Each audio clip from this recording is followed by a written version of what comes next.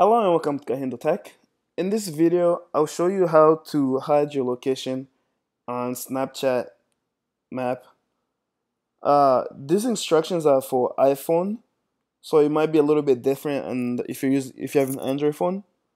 But let's begin. We'll begin by opening up the Snapchat app. Once you have it open, click on your emoji. If you see it's the little uh, on the upper left corner to the left of uh, search, there's your emoji. Click on it. Okay.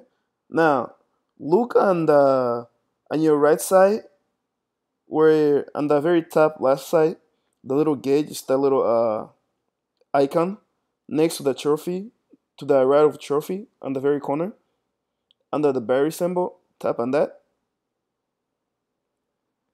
okay? Once you get your settings scroll down until where you see who can right there. You see on the on the upper left side go down in this menu click on see my location. Okay? See I have selected? One thing though before okay before I go there as you can see where it says see my location currently it's set to my friends. We want to change that so we'll click on see my location. Okay. As you can see right now the check mark is showing you that your only your friends can see your location but we want to tap on we want to turn on ghost mode. That's how you hide your location. And it says there right there when you enable your friends can see your location. So nobody else can see your location by yourself. To turn it on right now if it's, since it's white that means it's off.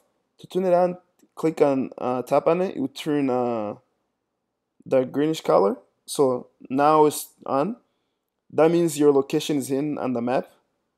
And to show you that if we go back keep going back and then just tap the little white circle at the bottom.